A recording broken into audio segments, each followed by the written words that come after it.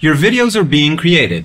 Once they're finished, you'll be able to preview them, change the publishing date and time, download them, or tweak them by using the Chat to Edit feature. This powerful feature lets you edit directly through chat.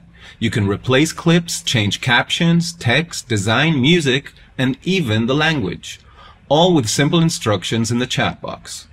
And if you prefer a more hands-on approach, use Promo's classic editor, accessible through the Edit Video option, for full editing control.